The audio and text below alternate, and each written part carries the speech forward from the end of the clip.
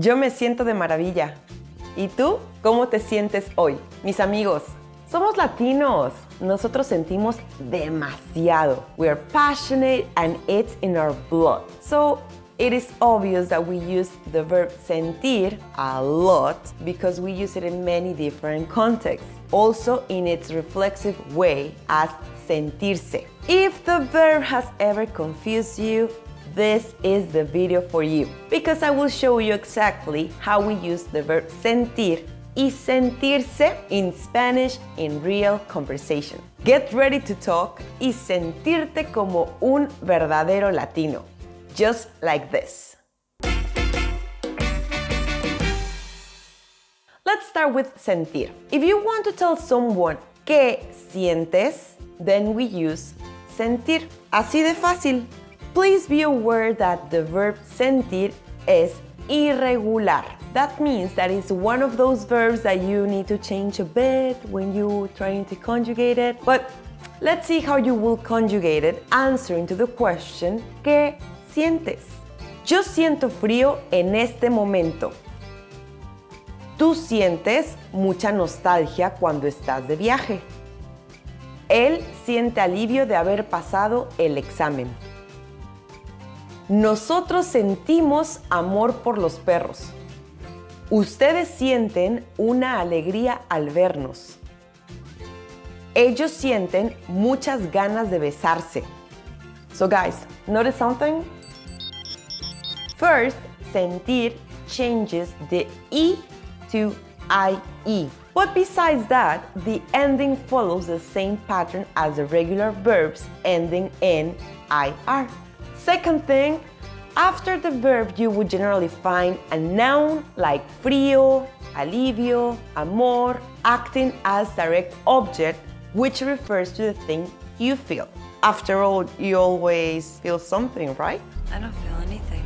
And third, that noun could be accompanied by an adjective or an article, just like mucha nostalgia, muchas ganas, una alegría.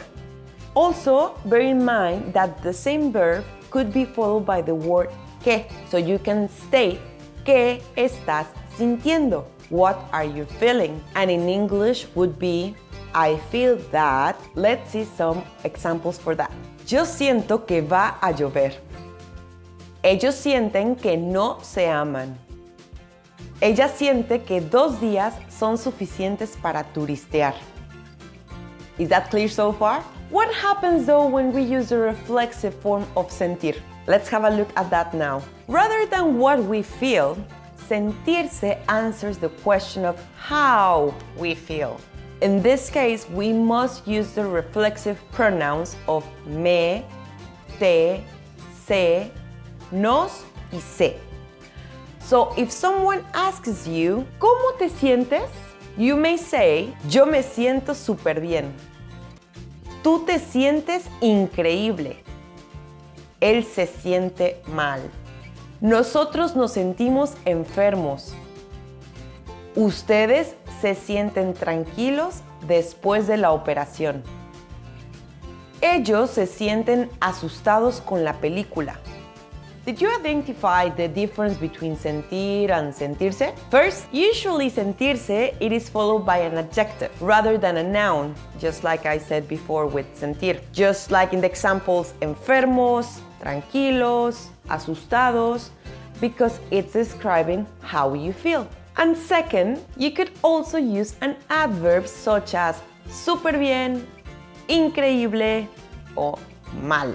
So now you're able to answer me the first question I made you at the beginning. So, ¿cómo te sientes?